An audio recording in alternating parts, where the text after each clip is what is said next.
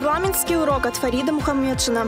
В Казанском федеральном университете почтили память Василия Лихачева. Я хотела сначала говорить о его там, ну, о нем как о ученом, но поняла, что присутствующие здесь приглашенные люди, они лучше знают его.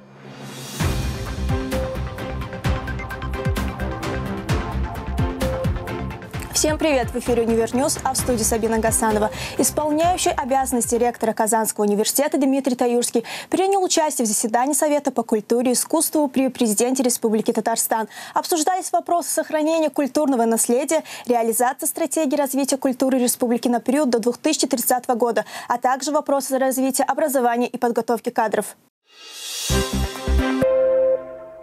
Знание законов в повседневной жизни является необходимостью и обязанностью каждого гражданина страны. 25 марта в лице имени Лобачевского прошел парламентский урок под названием «Я – гражданин. Мои права и обязанности».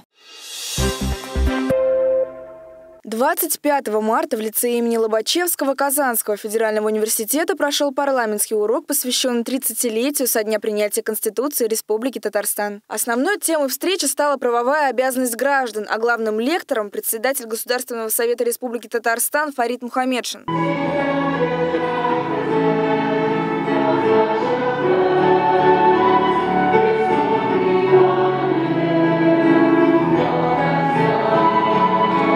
После ознакомления с внутренней жизнью лицея Казанского федерального университета Фарид Мухаммедшин приступил к основной части парламентского урока – познавательному и поучительному монологу, в котором он подробно рассказал о правовой составляющей республики. Вы получите хорошее, надежное образование, выберете себе последующую профессию, поступите в вузы соответствующие и будете жить в счастливой России и успешно трудиться на благо своей семьи и страны в целом.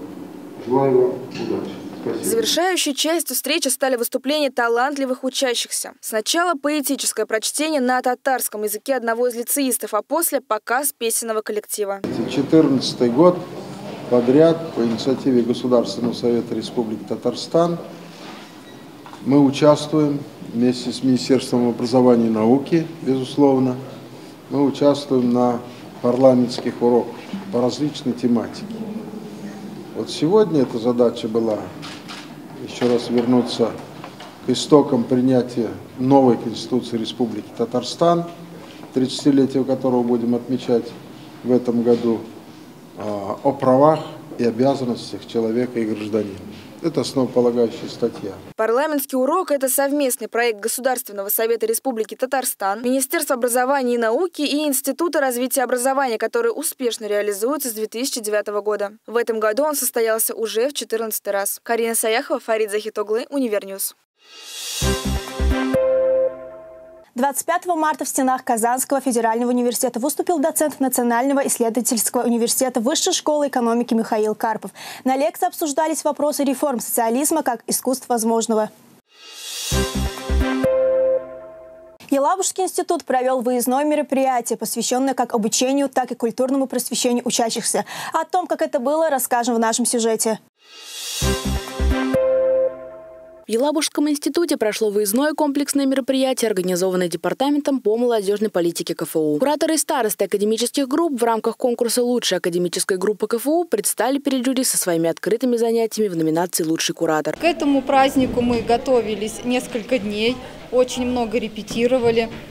Очень много было всяких трудностей, но мы это преодолели. Как показывает практика, такие мероприятия очень сплочают коллектив, Поэтому мы за друг друга очень болели, очень переживали. Затем гости мероприятия смогли полностью окунуться в учебный процесс, посетив три кураторских часа, посвященных различным темам. На повестке дня был знаменитый праздник прихода весны Наурус, который отмечался два дня назад. Студентам подробно рассказали о сути праздника, его истории, а также их познакомили с народными танцами и обычаями. Мы приобщились к традиции, узнали понятия, узнали, что в ЮНЕСКО этот праздник утвержден в 2009 году. Ребята очень старались, и национальный костюмы, и танцы, и песня. Вся эта атмосфера позволила нам окунуться в атмосферу именно традиций. Сразу после официальной части старостам академических групп провели серию мастер-классов, где специалисты департамента рассказали им о важной составляющей их обязанностей – комьюнити-менеджменте, тайм-менеджменте и креативном мышлении. Это поможет им научиться правильно расставлять приоритеты и распределять свое личное время, чтобы увеличить продуктивность труда. Рассмотрели такие вопросы, как э, организация учебного времени, рабочего времени, совмещение этих двух деятельностей. Ну и также э, рассмотрели шаги к эффективному тайм-менеджменту, эффективному распределению времени в течение дня, недели, месяца. Айдар Нурмиев, Елизавета Газизянова, Univer News. В главном здании Казанского университета прошла научно-практическая конференция, посвященная 70-летию со дня рождения Василия Николаевича Лихачева. О том, как она проходила, смотрите в следующем сюжете. Василий Николаевич Лихачев – профессор, политический деятель и ученый. За свою жизнь успел поработать преподавателем Национальной школы права Республики Гвинея-Бисау, а также в Университете Республики Мадагаскар. Окончил Казанский федеральный университет, и память о нем хранится в стенах Альма-Матер до сих пор. Аудитория номер 338 была отремонтирована и теперь носит гордое имя Василия Николаевича. Надеюсь, что вот сегодня те гости, которые присутствуют э, в аудитории, которая посвящена э, Василия Николаевича Лихачева, имени Василия Николаевича Лихачева.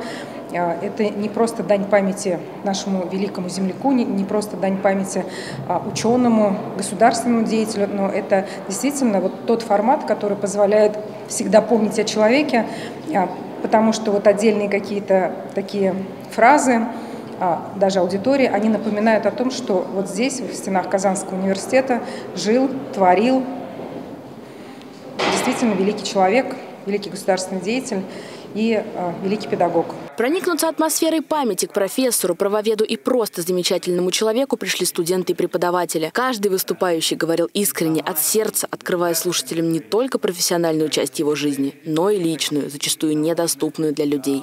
Но у нас раньше была 326-я, так приятно все это видеть. Какое-то волнение охватывает. В молодость свою возвращаешься. Меня пригласили на научную. Я хотела сначала говорить о его там, ну, о нем как ученым, но поняла, что присутствующие здесь приглашенные люди, они лучше знают его как ученого. Я его знаю больше как супруга, как однокурсница.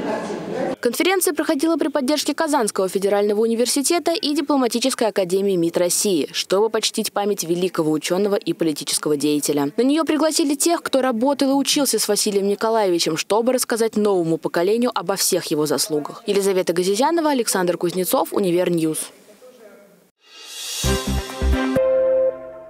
Стенах инжинирингового центра Набережно-Челнинского института Казанского университета прошло выездное комплексное обучение для кураторов и старс академических групп. Все подробности смотрите далее.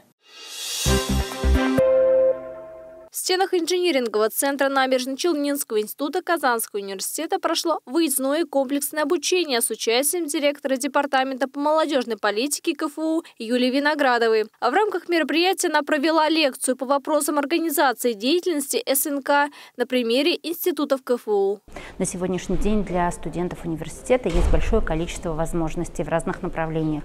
Это и творчество, и спорт, и наука. И, конечно, для того, чтобы э, соответствовать и интересам студентов, и для того, чтобы развиваться, необходимо работать над системой. Поэтому на сегодняшний день, вот именно в Казанском федеральном университете, большое внимание уделяется работе э, со студенческими общественными организациями и объединениями, э, со старостами академических групп, кураторами академических групп, студенческими научными кружками. Повышение компетенций в вопросах образования, формирование у студентов лидерских навыков, создание комфортных условий для продуктивной деятельности стали главным посылом прошедшего интенсива для кураторов и старост академических групп. Одномоментно в соседних аудиториях прошли кураторские часы, посвященные темам патриотизма, семейным ценностям и как не стать объектом манипуляции. Этот опыт на самом деле очень интересен, потому что Здесь э, самое главное понять каждому из нас, э, что мы должны делать или в каком направлении мы должны двигаться, а, может быть, как-то расширить даже свою деятельность, потому что, оказывается, у коллег бывают и какие-то интересные формы работы.